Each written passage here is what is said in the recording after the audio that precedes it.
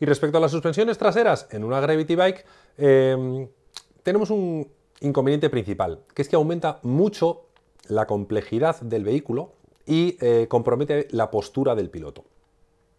Diseñar una suspensión trasera, que puede parecer muy sencillo, eh, comporta eh, también una pérdida de rigidez del chasis que es negativa para el pilotaje.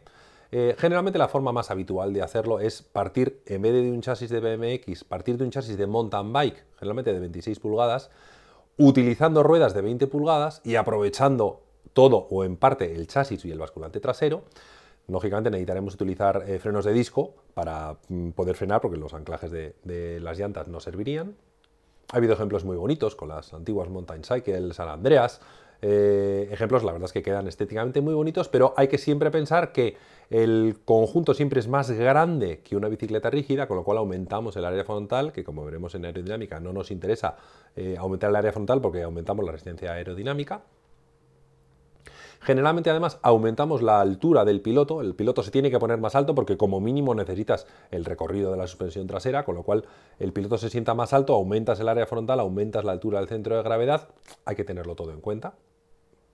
Y otro detalle muy importante, como vimos también en los capítulos de suspensión, cuando una suspensión actúa queremos que lo que sube y baja con la suspensión sea muy ligero y el resto muy pesado, para que esa suspensión funcione bien.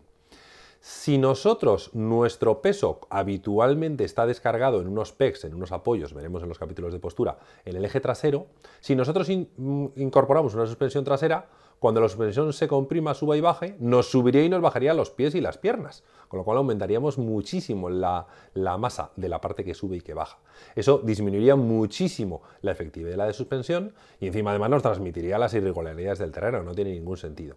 Es lo que ocurrió hace muchos años, algo parecido en la mountain bike que le llamaban las traseras unificadas. Ponían la caja de pedalier en la parte trasera, eliminaban todos los problemas de tirones de cadena, pero claro, cada vez que cogía un bachete subían los pies, entonces perdía muchísima efectividad la suspensión. Eso no tiene sentido.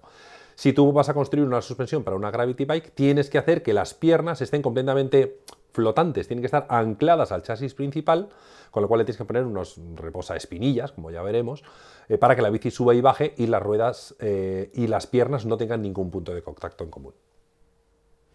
Y respecto al recorrido, eh, los recorridos necesarios son muy cortitos, muy, muy cortitos. En realidad lo que queremos es aumentar el agarre, no vamos a hacer motocross con ella.